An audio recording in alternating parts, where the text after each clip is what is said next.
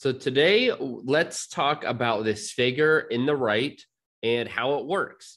Pretty simple, but I'm going to go through some details and it's important to know all aspects because you know never know what the examiner may ask you and they do ask very specific details of radiation devices. So, right here is a traveling wave accelerator tube. So, it is important to be able to pick this out whether it may be a actual physical tangible traveling wave tube they show you in a picture or if it's just like a diagram like this it could be either one.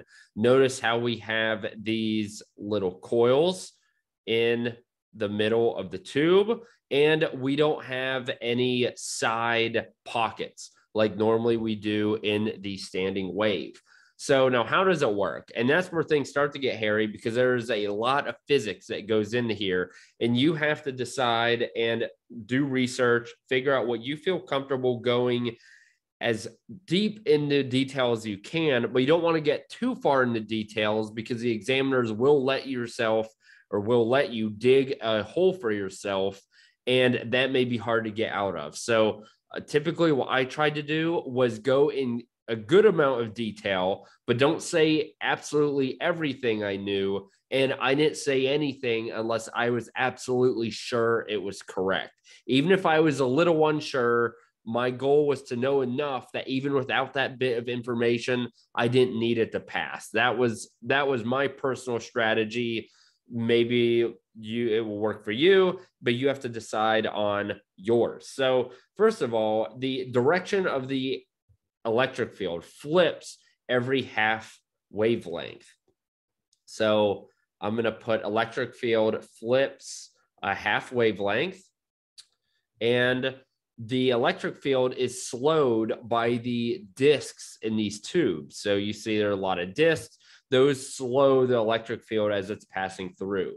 Now, the entire structure resonates at the same frequency.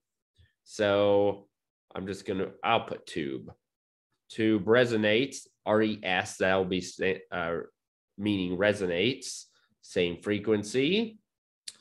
And this is made of copper. So uh, good to know what it's made out of. And the reason it's copper is because there's a high electrical conductivity and it loses less power per other metals. And the idea is that the electrons that are bunched are going to be sent and accelerated by a negative electric field wave.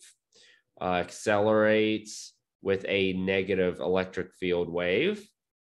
And one, I believe it was Karzmark, mentioned that a traveling wave accelerator tube is like a surfer riding a wave. So if you've got a wave and a certain, say you got a little surfer guy right here. Well, when he is on a negative here, he is going to get pushed forward. If he's on the other side, he's ended up going to get slowed down. And if he's in the trough, he's kind of just going to end up sticking there. And so the negative waves are like when the surfer is right here on the end and he's going to be accelerated forward. So the acceleration of the electrons only happens in one of four cavities, unlike standing wave accelerator tubes, which typically happen in a one for every two. So, because of this, the traveling wave accelerator tubes must be longer. Tubes are longer. So, when you're comparing the two, it's important to know that one, they are longer, and that is why they are longer. It takes more cavities to accelerate the electrons the same amount. And then at the end, there is a dummy load that prevents reflected waves. So, unlike the standing wave, where you want that wave, that electric field kicked back and to make those standing waves, you don't want that in the traveling wave. So, some more kind of random facts are typically tubes can get up to one meter, so they're they're pretty long. The first few cavities here, These vary in size, and the discs slow those electric field patterns. They make the resonant cavities. The electrons are gathered and bunched in the beginning of the tube. The uh, megawatt power fed into the tube via the wave top, waveguide on the gun side. So that's where the tube is fed in, and it's on the waveguide portion of the electron gun.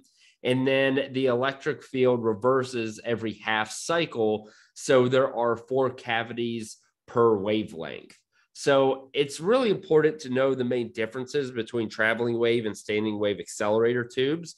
Know that normally we use standing wave because they are shorter. We want less time or less room in the treatment area to be taken up. That also allows you to have a smaller head, more clearance, and it is typically what all the all the major LINACs use, uh, to my knowledge. Specifically, Varian machines definitely use standing waves, but it's important to know the differences between these two. If you got any other information, feel free to comment below. If you got questions, put it below.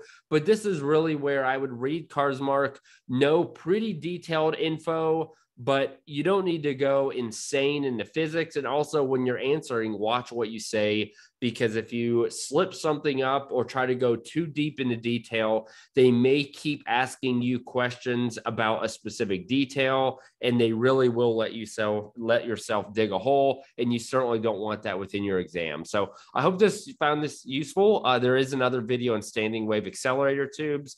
Feel free to watch both of these, compare, and then you should be prepared for the exam if you get one of these questions. So if you have anything else, we will help where we can. Comment below. Thanks for watching and best of luck studying.